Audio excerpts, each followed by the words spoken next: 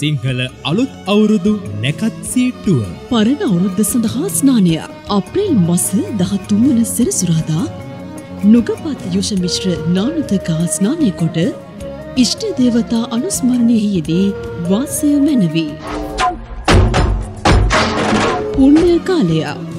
අප්‍රේල් මස දා හතරවනරිතා පූරභාග හතයි හතලිස් පහේ සිට එදින අපරභාග අටයි තිස්තුන දක්වා පුුණ්‍ය කාලයේදේ. එබැවින් අප්‍රේල් මස්සදා හතරවනරිදා පුරභාග හතයි හතලිස් පහට පළමුුව ආහාරපානගෙන සියලු වැඩ අතහැර ආගමික වදාවත්වල යෙදී නොමැනවී. අලුත් අවුරුදු උදාව අප්‍රේල් මස දා හතරවෙනි ඉරිදා අපර භාග දෙකයි නොවයට සිංහල අලුත් අවුරුද්ධ උදාවෙයි. ආහාර පිසීම. අප්‍රේල් මස දා හතරවන ඉරිදා. අපර භාග දෙකයි හතලිස් දෙකට. රතුකහා මිස්ප්‍ර වස්ත්‍රාභරණයෙන් සැරසී. නැගෙනහිර දිශාව බලා ලිප් බැඳ. ගිනි මොලවා අකුරු මිශ්‍ර කිරි බතක්ද හිකළු මිශ්‍ර අක්ගලා සහ කැවුම් වර්ගයක්ද පිළියල කර ගැනීම මැනවී.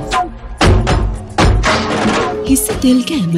අප්‍රේල් මස දාහත් පෙනි බදාදා. පූරභාග හතයි හතලිහට පලාවන් පැහැති වස්ත්‍රහභරණයෙන් සැරසි නැගෙනට දිශාව බලා. හිසට කොහොම පද්ද? පයට කොළොම් පද්ද තබා. කොහොම්පත් යුෂ මිශ්‍රනානුද තෙල්දගා ස්නානය කිරීම මැනවී. රැකී රක්ෂා සඳහා පිටත්ව යෑම.